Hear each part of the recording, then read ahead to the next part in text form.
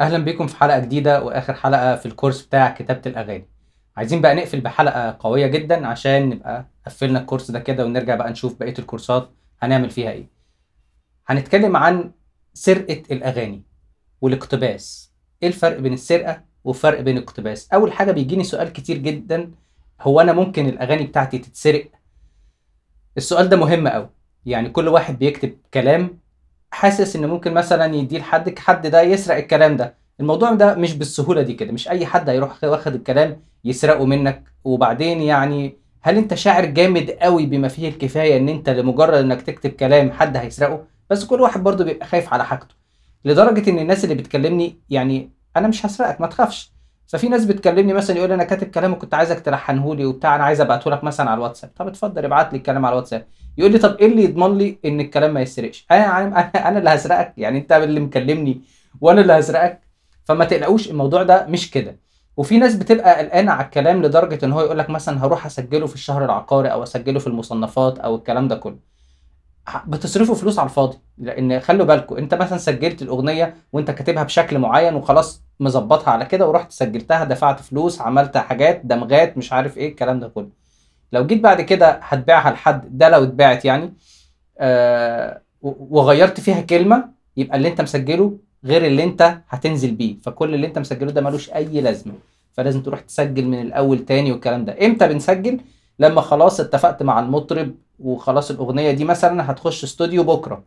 فخلاص لازم تعمل لها مثلا تنازل أو تعمل لها تسجيل فإيه اللي هو بقى الايه الإجراءات الحكومية. ده السبب الوحيد اللي بنسجل عنه عشانه. طب آه يعني انت خايف على كلامك مش عايزه يتسرق مش عايز الكلام ده كله؟ مفيش مشكلة. يعني بص اولا ما بقاش حد الدنيا ما بقتش زي زمان إن كل واحد يعني يكتب كلام يقعد يسجله وبتاع وكده والناس بتخاف أصلا تسرق من بعض. أنت مثلا لو سرقت منك كلمة ولا حاجة زي كده هتبقى فضيحة يعني ما ال social media ما خلاش. ففي أبسط طريقة لتسجيل حقك ارفع حاجتك على الفيسبوك عندك مثلا أو حتى إن شاء الله تعملها برايفت بس أنت مجرد ما رفعتها عندك هي بتتسجل بالتاريخ بتاعها كده مثلا إن أنت رفعتها يوم مثلا الخميس مثلا 2019 يوم كذا.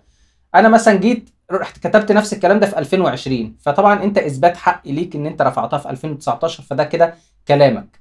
فدي من ضمن الحاجات يعني البسيطة اللي تقدر تثبت بيها حقك. بس ما تخافوش محدش بيسرق من حد حاجة. وبعدين مين هيسرق منك مثلا؟ أيمن بهجت قمر مثلا هيسرق منك كلام. أمير طعيمة مثلا عشان يروح يديه لعمرو دياب ولا بتاع. الناس دي ليها عمر وتاريخ و... وكده. وأنت بالنسبة لهم بتبقى مبتدئ. فأنا بنصح الناس المبتدئين ما تشغلش نفسك إن أنا هقعد أكتب كلام ويتسرق ويحصل إيه وإيه وإيه والكلام ده كله. دي أول نقطة عايزين نتكلم عنها في الحلقة. طيب إيه بقى؟ آه ال ال عنوان الحلقة الحقيقي لأن دي بس نقطة كنت عايز أجاوب عليها عشان إيه نخلص من الموضوع ده. عنوان الحلقة الحقيقي بقى هو الاقتباس والسرقة. في ناس آه بتقتبس. طب والاقتباس ده يعتبر سرقة؟ لا ما يعتبرش. يعتبر إنك بتاخد ال mood بس بتاخد الروح العامة بتاعه الأغنية عشان تدخلك في ال mood. وهقول طرق كتير دلوقتي للاقتباس أو طرق كتير برضو للسرقة. والسرقة فيها سرقة بحرفنة يعني ما تحتسبش سرقة. يعني تبقى بس إيه ملمسة مع حاجة شبه حاجة مش عارف إيه وكده. إنما في قواعد السرقة سرقة؟ لا مش سرقة خالص.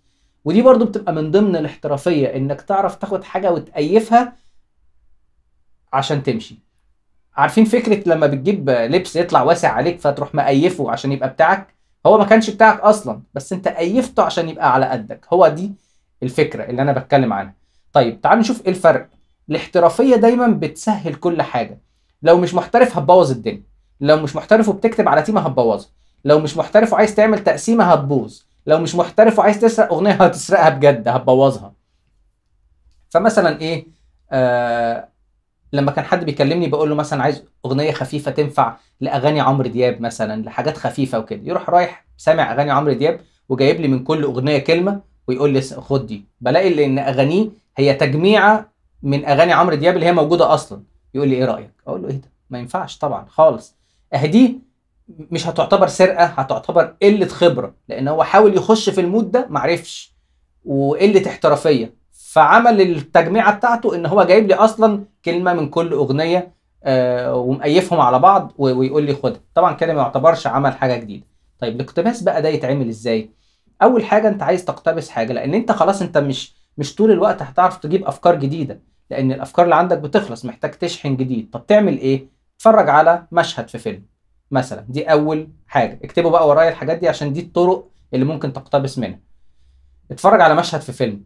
لقيت مثلا المشهد بيتكلم عن اتنين كانوا قاعدين في مكان بيبصوا لبعض فاتكلموا فقالوا كذا كذا كذا كذا كذا. تروح موقف. الموضوع ده كده لو أنت عايز تعمل عنه أغنية ممكن تكتب عنه إيه؟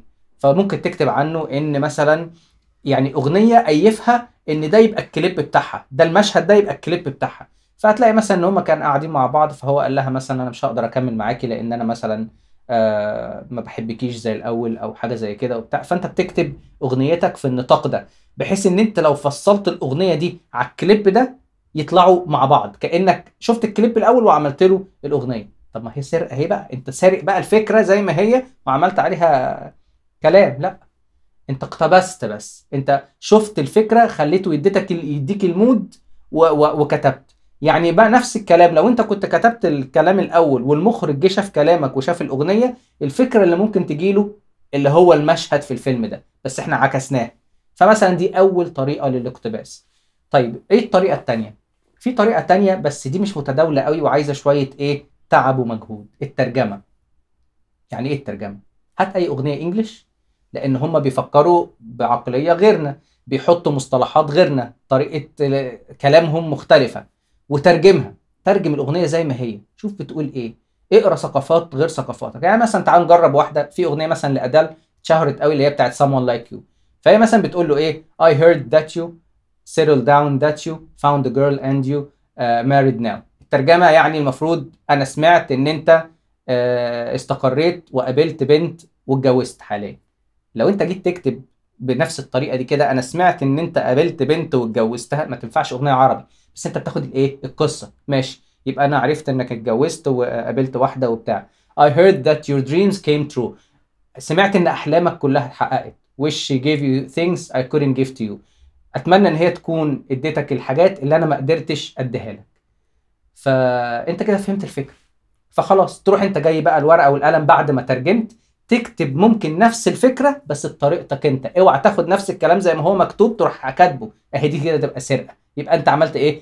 ترجمت الكلام وعملته بالعربي وخلاص قلت دي أغنيتك. لا ما هي مش أغنيتك. انت ممكن تاخد مجمل الفكرة وتبتدي تعمل زيها بطريقتك انت. انت بس اقتبست وسعت لك خيالك. فمثلا إيه؟ لقيت الأغنية بتقول إن أنا عرفت إنك قابلت واحدة وحبيتها. ده بقى كلامك انت. أنا سمعت إنك قابلت واحدة وحبيتها. وكده. مش لازم بقى تقول نفس الكلام استقريت ولقيت واحدة حققت لك أحلامك ومش عارف إيه والكلام ده. ممكن تقول إن أنا عرفت إنك لقيت واحدة وحبيتها أتمنى إن أنت تعيش معاها أكتر ما يعني أحسن ما كنت عايش معايا. سمعت إن هي حققت لك أحلامك سمعت إن مثلا إديتك حاجات أنا ما كنتش بقدر أديها لك. السياق ده كده. وتغير بقى شوية كلمات وشوية معاني وبتاع يبقى أنت خدت المود العام لكن بعيد عن الأغنية خالص. دي برضو طريقة من طرق الاقتباس إنك تترجم حاجة وتقولها بطريقتك. آه بعد كده هي بتقول له إيه never mind I find someone like you. يعني أنا كمان هلاقي حد زيك زيك مش زيك يعني شخصيا لأ زيك يعني زي ما أنت لقيت يعني. فمثلا المود ده كده لما نيجي نقلبه في الأغاني العربي عندنا هتلاقي أنغام عاملة مثلا هتمنى له الخير أمير طعيمه فممكن تبقى صدفة إن مثلا آه نفس الفكرة بالظبط واتقالت بشكل تاني. أو ممكن مثلا يكون أمير طعيمة من كتر مثلا ما بيقرأ وبيذاكر وبيذاكر ثقافات تانية وحاجات زي كده عجبته الفكرة دي. فما بياخدش الفكرة ينقلها زي ما هي بيعملها بشكل مختلف. هتمنى له الخير إن هو قابل واحدة غيري ومش عارف إيه وكده. أنا مش هقول له بقى أنت سبتني وأنت جرحتني. خلاص يا عم أنا مش مكفياك مش يعني مش مرتاح معايا. أتمنى لك الخير في الإيه؟ في البنت اللي أنت قابلتها جديدة. دي مثلا حاجة. في حاجة تانية ممكن تشوف أي أغنية تانية. في أغنية مثلا لمين؟ تعال نجرب أي حاجة. آه مختلفة مثلا. مايكل جاكسون مثلا. كان في أغنية اسمها Man in the Mirror رجل في في المراية. بيقول I'm gonna make change for once in my life. هعمل تغيير حتى لو مرة في حياتي. gonna feel real good. يعني هحس بحاجة يعني good كويسة. uh, gonna make a difference. gonna make it right. وهحس باختلاف وتغيير في حياتي وهحس إن أنا بعمل الحاجة الصح. وبعد كده بيبتدي يتكلم بقى سياق الموضوع بيخش بقى إيه إن هو بيتكلم عن أطفال الشوارع ومش عارف ناس في الشارع مش لاقية تاكل وناس مش عارف إيه وكده. أنت مش هتخش قوي في الحتة دي. فأنت ممكن تقول إيه إن أنت ناوي تعمل تغيير في حياتك والتغيير ده بس أنت جاتك الفكرة. ممكن الفكرة بقى تشدك لحتة تانية. التغيير ده إن أنا مثلا ناوي أبقى أحسن ناوي أبقى كذا ناوي أبقى كذا ناوي آه، أسامح اللي جرحني ناوي مش عارف هعمل إيه ناوي أطور من نفسي. أي حاجة المهم إن أنت إيه هتعمل تغيير في حياتك.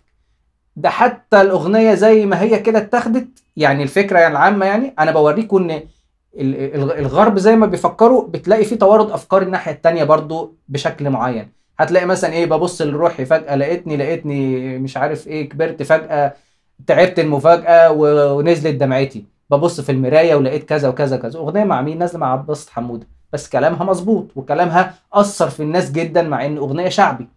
إيه ده؟ يبقى أنت لازم تسمع كل الحاجات. أنا بسمع مايكل جاكسون وبسمع ادال وبسمع عبد الباسط حمودة وبسمع قديم وبسمع جديد وبسمع كل الحاجات. فده فكرة الاقتباس إن أنت بتقرأ بره ثقافتك. لأن أنت طول الوقت لو عمال تسمع عمرو دياب بس وبتسمع رامي صبري بس بتسمع شيرين بس وبتسمع الحاجات دي بس ما عندكش جديد. أنت قافل على نفسك مود معين لأن اولا هم نفس الشعراء اللي بيكتبوا هنا هم هنا هم هنا. فبرضه إيه يعني ممكن تكون الدايرة كبيرة برضه شوية بس هي ده نفس الدايرة. إمتى تختلف؟ لما تطلع بره النطاق. اسمع ثقافات مختلفة سواء كنت ملحن أو سواء كنت شاعر. في أغنية مثلا لفرانك سيناترا اسمها Strangers in the Night. بيقول Strangers in the night exchanging glances wondering in the night what were the chances. المفروض إن هما مثلا اتنين كانوا غربة عن بعض بيبصوا لبعض بيتبادلوا النظرات وحاجات زي كده. وبعدين يعني الموضوع كله عن إيه؟ حب من أول نظر. فأنت ممكن تاخد الإفيه ده تكتب اسم الأغنية حب من أول نظر وتشرح القصة. كنا واقفين عملنا كذا كذا بصيت لها بصيت لي حبينا بعض من بعيد لبعيد أول كلمة كانت كذا عملتها قصة. بس الفكرة جت منين؟ إن مثلا strangers in the night exchanging glances مش عارف بصوا لبعض عملوا كذا كذا كذا. فعجبتك الفكرة وانت بتسمعها كأغنية English طب يا سيدي أنا ال English بتاعي ضعيف. ما بعرفش أعمل الكلام ده. جوجل خش على جوجل جرب ترجم. خش على اليوتيوب اكتب أغنية كذا مترجمة بالعربي. هيكتب لك الكلام وتحتيه الترجمة. مفيش أسهل من كده. بس أهم حاجة وسع ثقافتك. اقعد اقرأ كتير وشوف حاجات مختلفة وما تنتقدش حاجة. جرب الأول وكل حاجة هتاخد منها خبرة جديدة. أنا كان في اغاني بتنرفزني جدا وبتضايقني جدا. بحس ان أنا يعني بص مش قاد مش قادر اسمع الاغنية دي. بعد فترة بتعود عليها بلاقيني حبيت الاغنية من جدا. واقعد أقول لاصحابي ان أنا كنت الاغنية دي بتضايق منها جدا دلوقتي بحبها. ليه؟ ان أنا في الأول ما بديش نفسي فرصة بنتقد بهاجم. اوعى تهاجم. دي غلطة برضه أنا وقعت فيها. فابتدي ادي لنفسك فرصة اسمع جرب لحد ما تلاقي هل انت عارف تتقبلها؟ هل عارف تأيفها على المود اللي انت عايز تعمله ولا لا؟ إمتى بقى اكون بسرق؟ ان اخد الفكرة زي ما هي الكلام زي ما هو اترجمه واكتبه حرفيا زي ما هو موجود واقول ده كلامي بتاعتي ده كده هو اللي غلط اتمنى تكونوا استفدتوا من الكورس ده وان شاء الله هنبدأ بقى يا إما نسجل حاجة جديدة كورس جديد أو هنراجع بقى طبعا في كورسات قديمة لسه ما اتقفلتش لسه في حاجات ليها level جديد ليها حاجات زي كده. إن شاء الله تكونوا انبسطتوا معانا. وتابعوا بقى القناة هتلاقوا فيه كذا حاجة حاجات كتير غير ال- الشعر بس عشان لو انت داخل تتفرج على الشعر لا ده في تعليم جيتار في تعليم بيانو في تعليم توزيع موسيقي دي في حاجات كتيرة القناة فيها حاجات كتير. بس أشوفكم على خير إن شاء الله في فيديو جديد.